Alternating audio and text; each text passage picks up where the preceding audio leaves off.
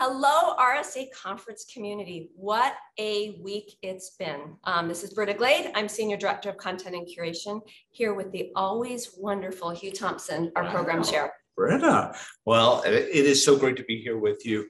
What an incredible RSA conference. It was just fantastic to, to see the fellowship, the folks getting together, you know, seeing old friends, amazing amazing friends. energy and making new friends yeah. and making new yeah friends. no yeah. sitting there and um not that i'm you know eavesdropping on all the conversations that are going on or anything Jeez, but the yikes. energy in the hallways the big groups the small groups the you know the the screams of delight as people are hugging people teams that have been working together for the last few years yes. who've never met in not person seen each other yeah you're right actually not physically seeing each other even before in some cases yeah yeah i i will admit i shed some tears a few times it was, it was exciting. It was incredible. It was incredible. And, you know, what was interesting though, is that even though there's been this gap of folks seeing people physically in person, it didn't feel like that. It felt no. like a continuity. Picked up right where you left off. Yeah. Exactly. Yeah. yeah. And, and uh, what was clear is that a lot of work had been done during COVID.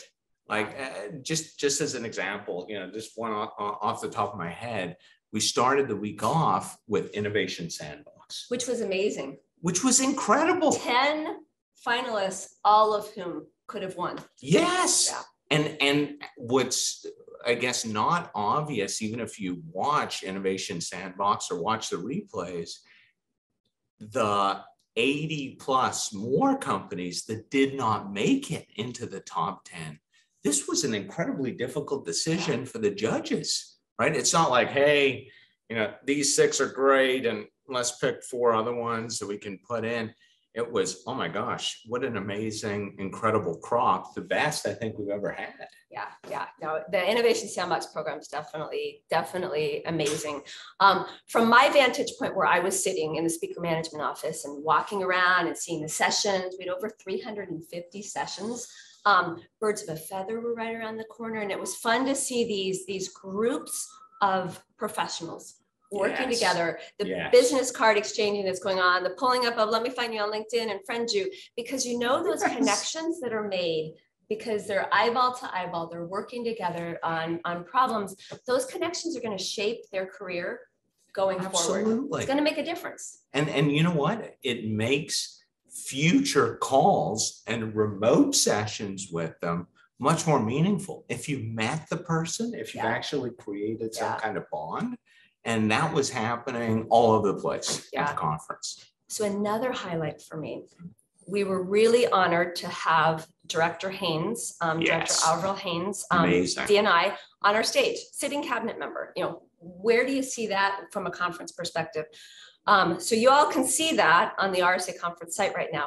I want to share with you a behind the scenes, pretty cool experience. Oh, okay. I know where you're going. Yeah, yeah. Going. So yeah. this is good. You when we're yeah, talking national security, it's yeah, important yeah, they know where I'm going. Okay, yeah. So she, um, she's an amazing individual. She was aware of our RSAC Security Scholar Program. So these, these brilliant scholars that are brought in, we had 49 this year from 50, uh, 25 universities across the United States, brought into RSA conference for the week. They have this amazing experience. But Director Haines wanted a one-on-one closed door session with these students. Which she, is incredible. She sees the importance it's... of the future. And it was a ask me anything nothing is off, off limits. You want to understand how this works, how I got here. And she has a very interesting background as well. And those students, current students as well as alumni of the program, we had to shut this we had to shut it down after an hour because we needed to get her O off to a keynote stage session but it's amazing that this this person um, is taking this time with the future generation and seeing, you know, Director Haines did it, but also across our attendees. I see program committee members spending time with her. Yes, I see yes. I see speakers spending time with these students. And that's what community is about, is it involving is. the next generation. It is. And you know, the word community, I love how you centered on that. And that's that's truly what I felt at this year's conference. That our community and security is stronger than ever. Yeah. And that's just obvious and you know what I think is is amazing if you look at the number of attendees, the folks that were there, how engaged they were, and the value that they were getting from not just the sessions and the content, which Britta and I care very much about, but also just the interrelationships, the connections, the empathy with each other, the ability to calibrate.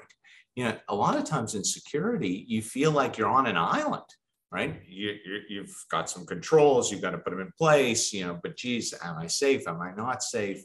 And the answer is you're never safe. But how do you know you're doing enough or even close to enough? You have to calibrate with peers. There, there's no there's no other way to do it. Yeah. And those peers across the RSA conference community come from law, come from privacy, come from policy, come yes. from technical. And that's that's where I get excited when I see those the synapses firing between those different disciplines, because that's what we need. We need this collection of backgrounds to move the community forward. Absolutely. Another highlight for me this week, um, speaking of community and speaking of people that really make a difference, um, we honored Alan Paller with the Lifetime Achievement Award for RSA Conference um, right before the SANS panel on the keynote stage. Um, and that was uh, that was a really meaningful moment. When you look at someone who has who has truly impacted um, individuals to the T and he really he was an amazing person to really connecting with people that way with the community as a whole. Such an amazing human being such a such a legacy he's left. Like the number of people he's touched and inspired incredible incredible there there was no person more deserving of that lifetime achievement award than alan yeah and he will be very missed yes definitely um talk to me about maybe a what was a favorite moment for you at RSA conference? Jeez, favorite Big, moment. small, anything. What what is seared in your brain right now that'll be there forever? You know, this is this is so weird because we had so many massive things going on, like you know, great keynotes. We had Katie Couric. We had, you know, it was it was it was fantastic. But a big moment for me was right at the end of the conference. So the the the keynotes had ended and you know, I was walking down the street and I ran into somebody who'd come there from Spain and just like spontaneously, and this is a chief security officer for a company uh, I won't mention, and just gave me a hug out of nowhere. And I, I never met this person before. And he was just so energized by the experience of being at RSA conference. I don't know. I think that might be my favorite moment from the whole thing. It's like it embodied so much of what people were feeling in just like a single instance. That's awesome. That's awesome. Yeah, it, hearing hearing the conversations. Um, there, there was one uh, yesterday, and, and you know, again, it's the overheard conversations that are awesome. And these these two um, attendees from a session they came out, and the one guy looks at the other guy like, "Dude, that was the best session I have ever attended in my life. That's great. Problems are solved based on what I learned. And that oh, feels good. Now that's that's a key phrase. Right?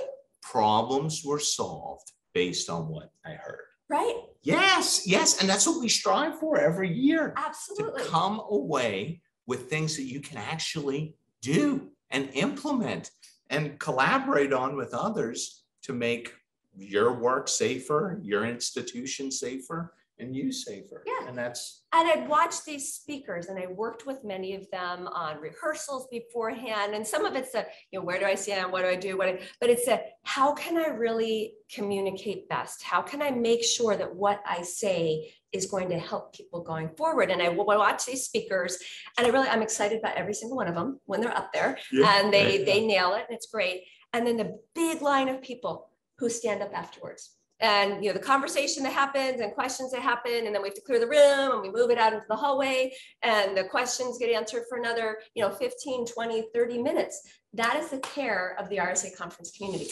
And you know, speaking about community, I have to give a shout out to our program committee. So Definitely. we have an independent program committee, and these folks volunteer 40, 80, some of them hundreds, you know, of hours during the year just trying to cultivate and curate from the massive number of submissions that we get through the call for speakers process down into the how many sessions did we end up Yeah, 350 through down to the 350 but that's a serious curation to get down to that point. And they're just so passionate about it. And it is community driven. You know, these are the folks that are in the trenches understanding what the biggest problems are and I think it's terrific. It's just an amazing example of community working taking together. that on as their night job and then working with those presentations multiple rounds to refine, the way. refine, refine. And then they get so excited they're in the audience. Yes, the yes, session, yes, Nailed it's like, it. We picked This the right is the one. one. So excited. Yeah, So yeah. yeah, it's great. So the energy of the week, the, the community that's been further strengthened and built, connections that have been made. Um, I know it will make an impact. I know it will make the world safer in little ways, in big ways, in future ways. That's the power of RSA conference. This is the epicenter of the cybersecurity community. And, and you know, we always say it's where the world talks security. At RSA conference this year, the world talks security. and it was really great to have to have you if you were here with us this year. If you weren't here with us this year we sure hope you can join us in the future. Um, you can certainly join 365 programming year round but this week was an amazing week and we're really grateful for our community and we're happy to be part of it. Thank you rsa conference. Thank you so much.